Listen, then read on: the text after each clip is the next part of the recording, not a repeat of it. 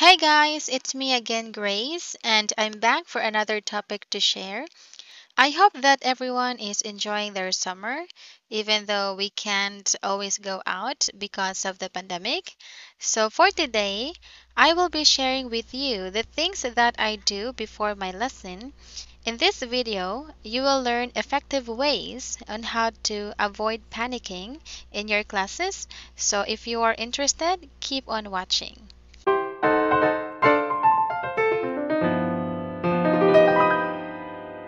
So I titled our video Keep Calm and Don't Panic.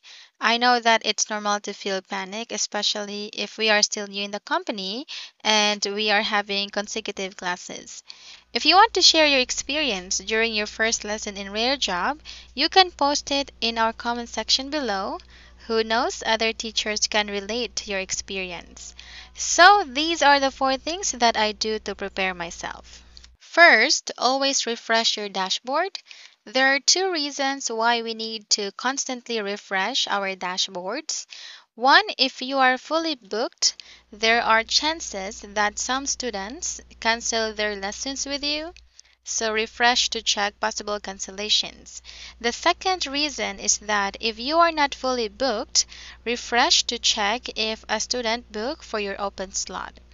Remember that students can book at least 5 minutes before your lesson, so to avoid surprises, refresh your dashboard even when you are in the middle of your class. Second, if you found out that a new student booked for your class, immediately prepare the lesson material for you and your student. I expect we all know where to find the materials, right? In my case, I bookmarked the website for the materials so I would easily find the books. I know it's a bit challenging since during this time you are still having a lesson with a student, but as much as you could, try not to make your student notice that you are doing something. In this case, you need to master the skill of multitasking, stay focused in the class even if you are doing something. The third is to scan the lesson. This part is a bit difficult if you're still having a lesson with another student, so I recommend you to scan the lesson during your 5 minute break. For those teachers who don't have lessons before the actual booking, so you have more time to review the materials. In my opinion, a curriculum like D&A needs more preparation since there might be chances that you will discover new words, so scanning is very important. And if you know that a word is new to you, so you can do advanced research of the meaning. So in case the student will ask, you can answer confidently. For JE, I think this curriculum is manageable since we have the script, but I recommend everyone to double check the pronunciation part since I've heard some teachers are struggling with pronouncing the different sounds, so this one is a consideration. And of course, for free conversation classes, as I have said in my previous video, you can search topics online. And last but not the least, ready your notepad.